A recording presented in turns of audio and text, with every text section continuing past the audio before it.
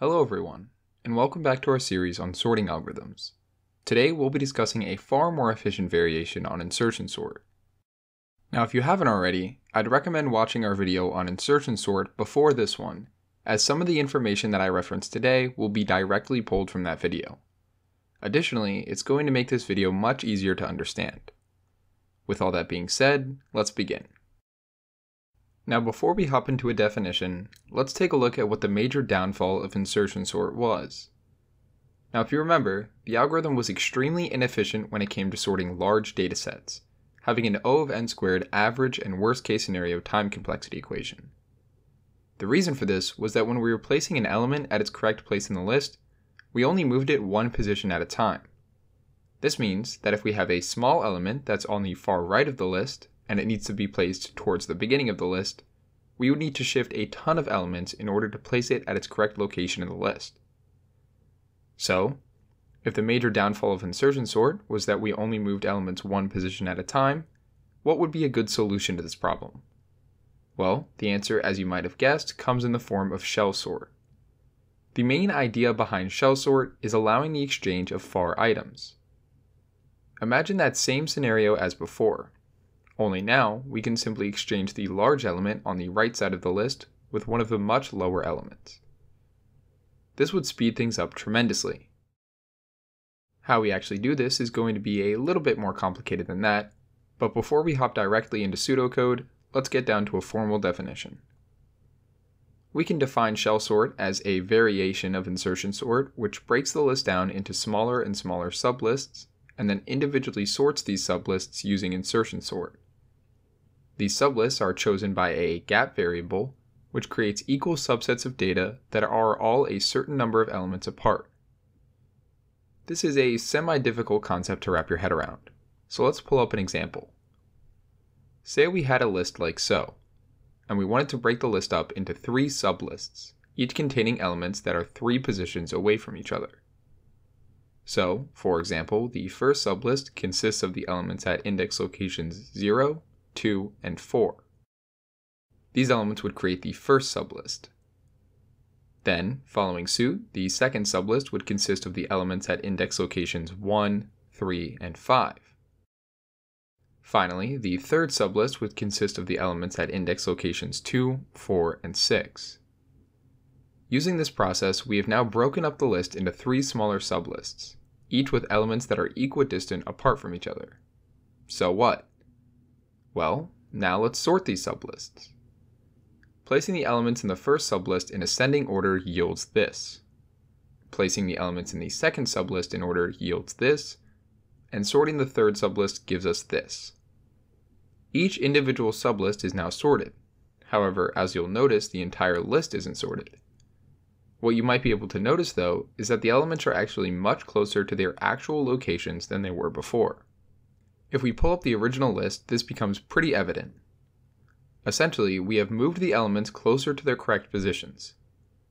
From here, what we can actually do is perform a simple insertion sort on the remaining list, and it will bring the dataset into a sorted state much quicker than simply using a typical insertion sort would have from the beginning. That's essentially the meat and potatoes of shell sort. We divide the list into a number of sublists, and then perform a modified insertion sort on each of those sublists based on a gap value. The gap determines how far apart elements in the sublist are, and we reduce this gap on each recurring pass through the list until we finally just end up performing a basic insertion sort to finish off the sort. This does leave out a very important question though, and that is how we determine this gap variable. Put simply, how do we know how many elements to skip over when making our sublists? Well, generally, we start with the size of the list divided by 2, since this takes care of any large jumps in the data that need to be made. Then, the most common practice is to divide that number in half again and again until it hits 1. So, for example, in a list of 8 elements, the gap would start off at 4, then it'd be 2, and then 1. Once the gap hits 1, well that's when we simply end up performing a basic insertion sort since a sublist with elements one space apart from each other will just end up being the entire list. Okay, now that we have the basics down, let's get a little bit more formal and jump into the actual pseudocode. Much like insertion sort, we pass in two formal parameters into the function. The first is the actual array that we want to sort, or R, and the second is the size of the array, which I'll call R size. The first step once we enter the pseudocode is to immediately hop into a for loop. This for loop will be used to set up the gap sequence that is the basis for shell sort. So we want to start by defining an integer gap, which is equal to r size divided by 2. That's the initial gap value that we'll use. Then, while the gap is greater than 0, we want to reduce the gap by dividing it in half, which we can do by using the divide equals operator. This for loop will give us our correct gap sizes that we want for our different iterations to the list.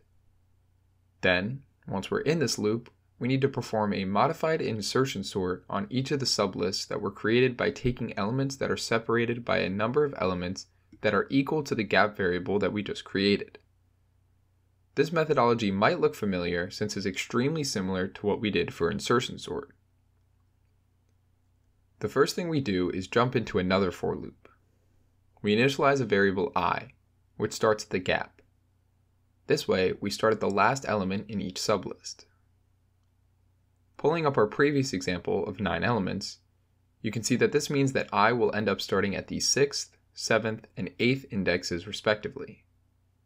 Each of these elements are the last element in their respective sublist. Thus, if we decrement this variable i by the gap, we can cover the entirety of the list. We run this for loop while i is less than r size, incrementing i by 1. This is the setup for actually sorting the sublists. Essentially, we go through the list, alternating sublists that we're sorting, and take turns placing an element in a particular sublist at its correct position in the sublist. We'll know which sublist we're on here because we have the gap variable. Decrementing i by the gap variable at any point will ensure that the element at that index is still a part of the sublist containing the element at i. Okay, the next thing we have to do is implement the actual comparison and swapping system. We start by storing the element at index location i in a variable called key. This key element is the integer that we want to place at its correct position in the sublist. We then set an integer j equal to the indexing variable i. This will be a traveling index that is used to travel to other integers in the same sublist as the key element and help us compare them accordingly. Now for the while condition. The first part is pretty simple. We want to stop j before it goes out of bounds of the array, in the case that the key element is the lowest integer in its sublist. Since we start at the gap index and only ever decrease j by the gap, this condition will simply stop the while loop at the first element in each sublist. Going past it will result in the termination of the while loop. Essentially, this serves as a stop case to prevent out of bounds errors. The second condition is just looking for an element that is less than the key element. Remember, we're trying to put this sublist in ascending order. Once we find an element that is less than the key element, we know that the correct location for the key element is at index location j. Stopping at this point will allow us to locate the correct location for the key element. The functionality inside the while loop simply serves to make room for the incoming key element. While we still don't know where the key element should go, which is evidenced by us still being in the while loop, we move the element that's just below the current one up to the current one. This will create room for the eventual placement of the key element at its rightful place in the sublist. We then decrement j by the gap variable. This takes us to the next element in the sublist. Finally, the last step is to actually place the key element at its correct location in the list which, after everything is said and done, will be at index location j. So, as a recap, we store a key element to be placed at its correct location in the sublist. We then loop through the sublist until we find that correct location, while simultaneously moving elements up to make room for it. And finally, we store the key element at its correct location in the sublist. Hopefully now it makes more sense to you how we actually sort the list using the gap method. Now we're going to make things even clearer by doing an example shell sort and then looking at things through the visualizer. If you watched our video on insertion sort, you'll know that the comparison process does take forever. So we'll be abstracting a lot of the variable comparisons in this video, as painful as that is going to be for our ad rates. Okay, so say we have a list of 8 elements like so. According to our pseudocode, the first thing that we must do is calculate a gap variable. This gap variable is initially set to the size of the list our size divided by 2. Since the size of the list is 8 elements, this makes our initial gap 4. What this means is that we will have 4 equal sublists, each 4 elements apart from each other. Let's signify this by color coding each separate sublist on our array like so. The next step is to enter our inner for loop. This is the one that will take care of sorting the sublists. We start at the index location of gap, i, which is 4. This means that we're going to start by sorting the sublist that contains 6 and 5. Let's make that a little more apparent on the visuals.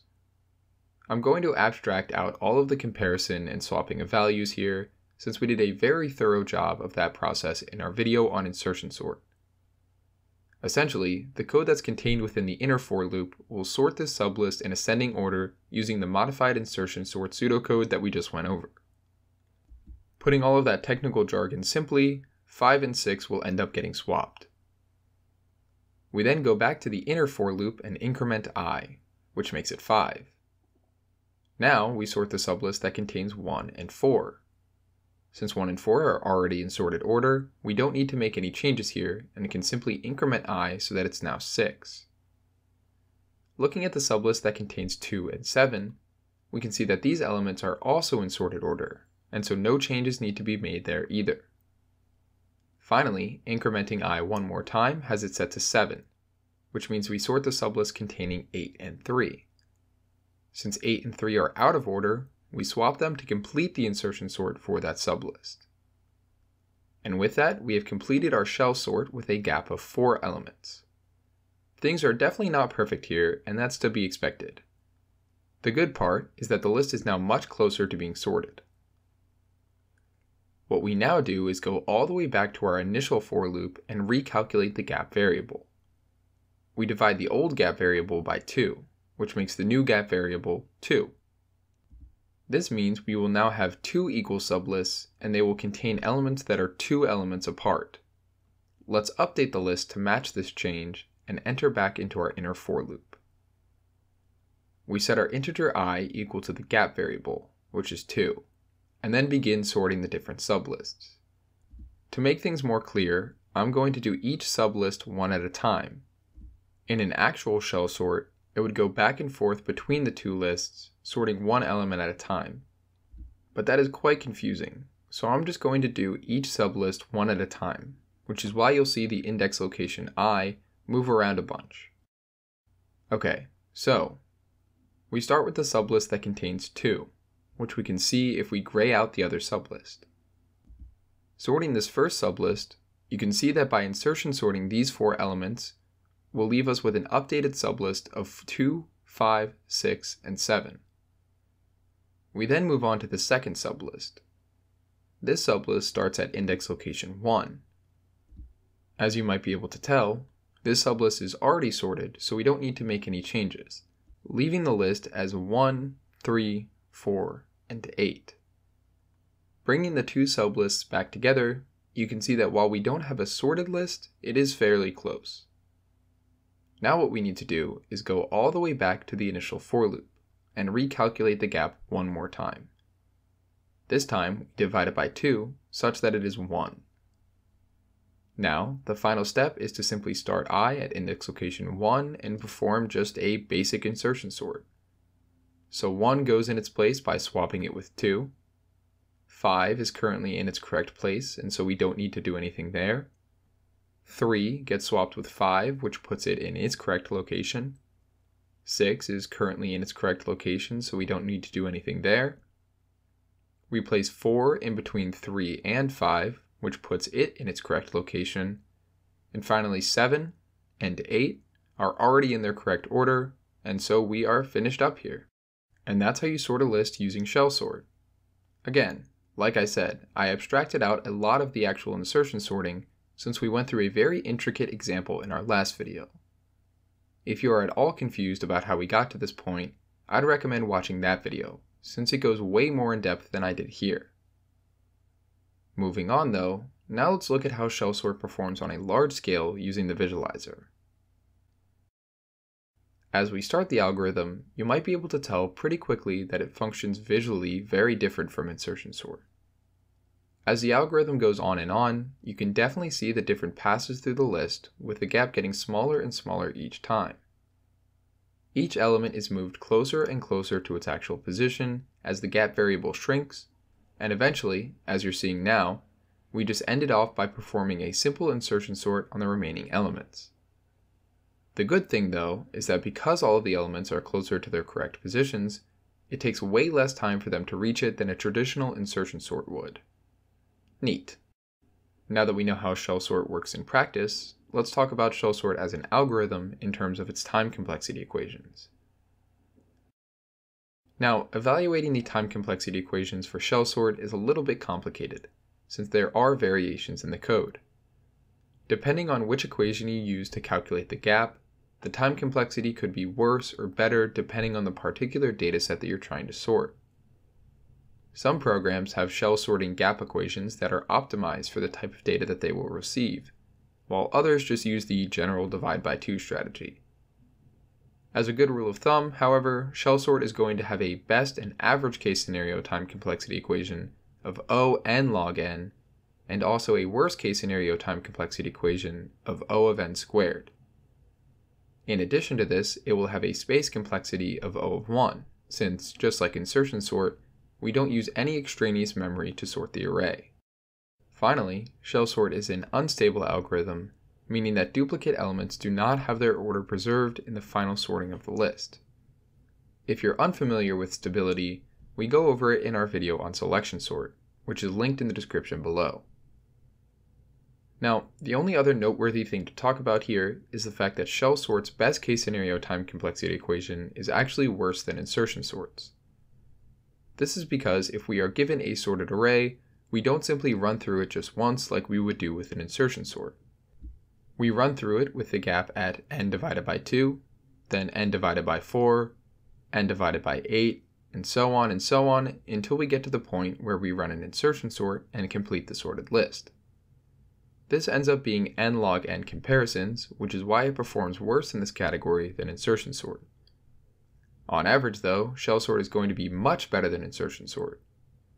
Being able to move the elements long distances, as opposed to just one at a time, makes things much much much more efficient, especially in the long run. Finally, we need to discuss common implementations of shell sort. Where is this algorithm actually used? And unfortunately, not too many places. Again, as with most algorithms, it is dominated and outperformed by the big three heap sort, merge sort, and quicksort. It can be implemented in some cases, though, where the datasets are large enough that an O of n squared worst case scenario algorithm won't work, but it is run on software with limited memory, and so the non constant space complexity algorithms don't work either. This is, of course, a reach though, and I'd be lying to you if I said that this algorithm is going to come up often as you progress throughout your computer science journey. That being said, the algorithm is intriguing, and any algorithm or piece of code that you learn or work on is going to help you become a better computer scientist. Sometimes, to appreciate the amazing algorithms, we must look at the not so amazing ones. And with that concludes our discussion on shell sort. As a review, shell sort is a variation of insertion sort, which breaks the list into smaller sublists, which are then individually sorted using insertion sort. These sublists are chosen by a gap variable, which creates subsets of items that are all a certain number of elements apart. As always, if you are confused about any part of this video, please use the timestamps in the description below to go back to rewatch any particular segment, or leave a comment down below with your question. Next week, we will move into the final phase of our sorting algorithm series, so make sure you